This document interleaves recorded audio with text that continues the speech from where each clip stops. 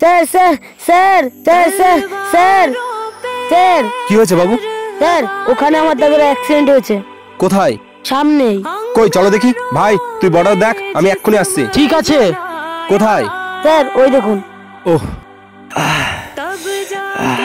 আরে ভাই তুমি ঠিক আছো তো? ফজি ফেসে গেলি তো আমার চক্রান্তে ফজি তোর কোনো শেষ ইচ্ছা থাকলে বল।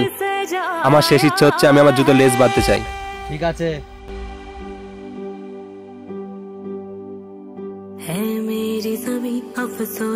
ফজি আমার সাথে বেমানি করলি? এবার তোর বেমানি ফল দেখ। আরে বেইমানি তো তোদের থেকে শিখলাম।